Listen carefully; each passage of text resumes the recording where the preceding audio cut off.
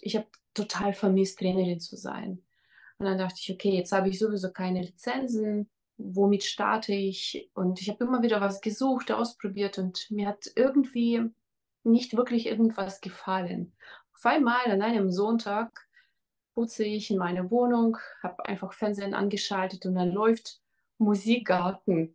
Und auf einmal kommen zwei junge Menschen, unter anderem Peter, und machen so coole Moves. Ich dachte, genau, genau das will ich. Und dann sofort habe ich nur den Namen Brickletics gehört und sofort recherchiert, habe sämtliche Zeitungsartikel über Peter gelesen und dachte ich, wow, der Typ ist auch so cool, das ist deutsche Breakdance-Meister. Genau von ihm will ich das lernen und nicht aus Amerika wieder mal ein Fitnesskonzept, sondern genau aus Berlin.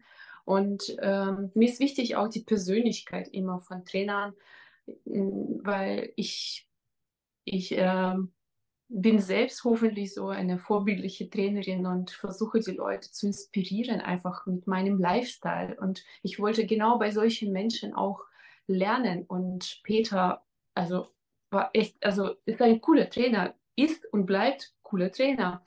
Und äh, in dieser Community sind auch coole Menschen. Und irgendwie, ich, ich habe sofort ein sehr gutes Gefühl. Das Einzige ist natürlich, mein Mann hat sofort Fragen gestellt, boah, nach fünf Jahren traust du dir wirklich zu, sechs Stunden und mehrere Tage Ausbildung zu machen? Ich habe gesagt, weißt du, als Peter gesagt hat, sogar seine Mutter konnte diese, äh, dieses Training absolvieren.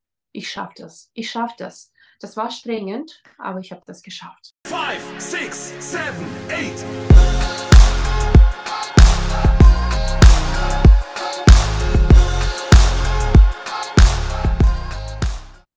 Ich bin Irina Kohlrautz und ich bin 46 Jahre alt, lebe in Ludwigsburg und seit meinem 17. Lebensjahr bin ich eine Fitnesstrainerin.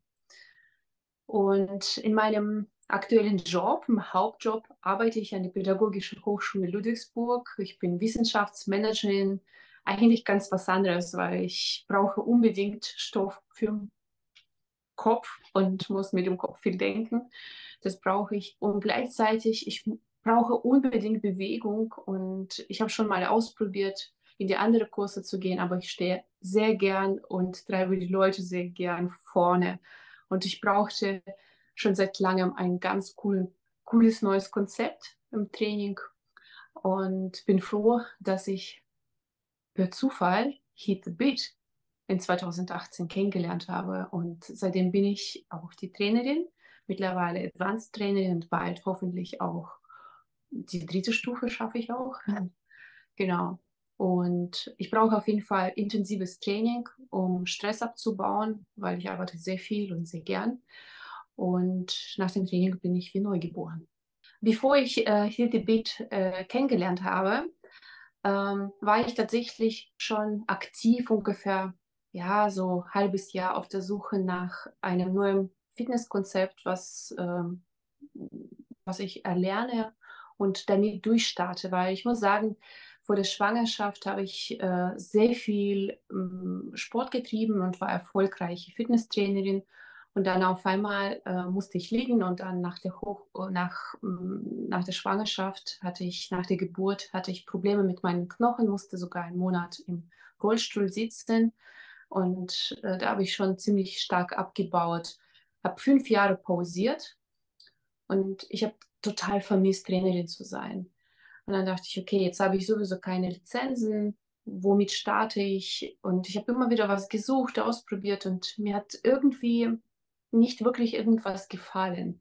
Auf einmal an einem Sonntag putze ich in meine Wohnung, habe einfach Fernsehen angeschaltet und dann läuft Musikgarten und auf einmal kommen zwei junge Menschen, unter anderem Peter, und machen so coole Moves. Ich dachte, genau, genau das will ich. Und dann sofort habe ich nur den Namen Brickletics gehört und sofort recherchiert, habe sämtliche Zeitungsartikel über Peter gelesen und dachte ich, wow, der Typ ist auch so cool, das ist deutsche Breakdance-Meister. Genau von ihm will ich das lernen und nicht aus Amerika wieder mal ein Fitnesskonzept, sondern genau aus Berlin. Und ähm, mir ist wichtig auch die Persönlichkeit immer von Trainern. weil ich, ich äh, bin selbst hoffentlich so eine vorbildliche Trainerin und versuche die Leute zu inspirieren, einfach mit meinem Lifestyle. Und ich wollte genau bei solchen Menschen auch lernen. Und Peter, also war echt, also ist ein cooler Trainer, ist und bleibt cooler Trainer. Und äh, in dieser Community sind auch coole Menschen. Und irgendwie, ich hatte ich hab sofort ein sehr gutes Gefühl. Das Einzige ist natürlich, mein Mann hat sofort Fragen gestellt, boah, nach fünf Jahren traust du dir wirklich zu, sechs Stunden und mehrere Tage Ausbildung zu machen? Ich habe gesagt, weißt du, als Peter gesagt hat, sogar seine Mutter konnte diese, äh, dieses Training absolvieren. Ich schaffe das, ich schaffe das. Das war strengend, aber ich habe das geschafft. also ich äh, fand die Ausbildung mega. Also das war für mich nicht nur ähm, Fitnesstraining, das vielleicht auch zum Teil nach kurzer Zeit langweilig wird, sondern das ist etwas auch, was, womit ich mich sehr stark identifizieren kann. Ich war als Kind auch, habe ich Bühnentanz gemacht und irgendwie, man könnte auch ein wenig was Tänzerisches hier sehen. Muss man nicht, ja. Zu mir kommen Leute ins Training, die auch nicht unbedingt tänzerische Ausbildung oder Grundbildung gemacht haben. Trotzdem haben sie Spaß, also genau in diesen tänzerischen aber leicht tänzerischen Elementen. Und man kann trotzdem irgendwie sich auch, wenn jemand ehemalige Tanz Tanzprofi war, trotzdem sich austoben dabei. Das ist so ein flexibles Konzept.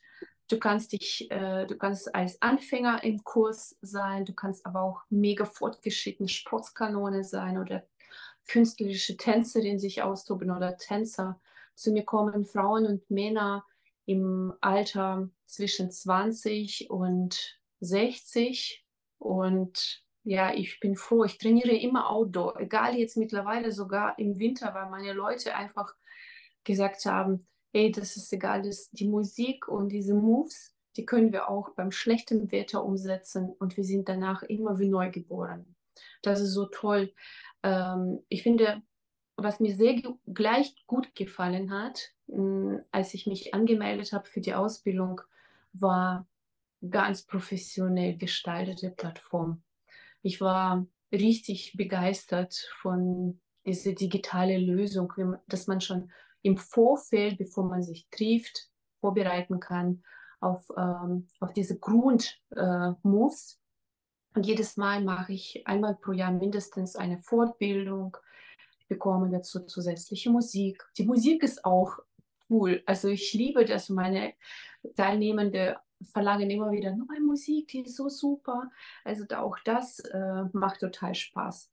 Die Struktur von der Stunde ist total einfach zu merken, weil wir natürlich ähm, abgesehen von Warm-up, Cooldown und Pausenübungen haben wir eigentlich einfach pro Stunde vier Bewegungen. Und die kann man in unterschiedliche Ausführungen machen, schneller, langsamer, komplizierter, einfach und dann kombinieren. Und das überfordert auch Gehirn nicht und gleichzeitig ist total abwechslungsreich. Es trainiert ganzen Körper auch, also von Fußspitze bis zum Kopf sozusagen am Nacken auch. Überall spürt man die Muskulatur und die Mobility verbessert sich als ich zum ersten Mal damals gesehen habe, äh, die Moves, dachte ich, cool, das sieht auch ein wenig so wie Yoga aus, aber ist echt äh, total coole Stimmung dabei und äh, ich habe mich total verbessert, also athletisch. Äh, ich habe mich auskuriert nach meiner mega krasse Verletzung, muss ich sagen. Danke, danke dafür mhm. auch. Ich kann mich belasten ohne Ende, muss ich sagen. Und das mit dreimal pro Woche Training. Also ich muss sagen, die Leute, die zu mir kommen, die sind befreit von Schmerzen, wenn sie regelmäßig kommen zu mir ins Training. Ich erkläre sehr viel, jede Fortbildung bringt mich weiter. Am Anfang gab es schon ein paar so, äh, so Blockaden, aber dann habe ich auch immer wieder mich weiter verbessert als Trainerin, dank ganz tollen professionellen Weiterbildungen. Hm, und dadurch natürlich profitieren meine Teilnehmenden. Ich muss sagen, was am beeindruckendsten ist, äh, ähm, ist wahrscheinlich tatsächlich doch die Community. Ich bin stolz, Teil dieser Community von Trainer zu sein. Es ist so eine grundlegende positive Stimmung. Einfach Leichtigkeit, die ich manchmal in normalem Berufsleben vielleicht manchmal vermisse. Und wenn ich in WhatsApp-Gruppe von Trainern äh, manchmal die Fotos sehe, denke ich, ach, das irgendwie, ach, das gibt mir so ein Push an Energie nochmal. Und ähm, wenn ich unsere Trainer äh, sehe oder Kern-Community von äh, Heat the Beat, von Recreatics, also die Leute sind einfach strahlende Sterne und das gefällt mir am meisten. Also wirklich, äh, also ich bin Beziehungsmensch, deswegen vielleicht ist es für mich am wichtigsten. Und diese Energie trage ich weiter in meinen Kursen natürlich. Und die Leute kommen zu mir und sagen, weißt du, Irina, wir mögen das Training, aber wir mögen auch dich. Also, und wir kommen zu dir ins Training. Ich wollte noch sagen, was, äh, wovon ich noch profitiere. Und in, äh, in den Fortbildungen profitiere auch ich nicht nur von der sportlichen Seite unserer Fortbildungen, athletische oder gesundheitsfördernde Seite. Ich profitiere auch eigentlich von der Business-Seite, von den Tipps von Social Media. Wie geht man damit um? davon profitiere ich auch. Und so viel Ahnung habe ich nicht als äh, digitale Nomadin, sagen wir mhm. so. Ich bin nicht unbedingt so sichtbar, aber vielleicht irgendwann traue ich mir zu, auch tatsächlich ein wenig sichtbarer in Social Media auch zu werden, weil ich habe coole Vorbilder. Five, six, seven, eight.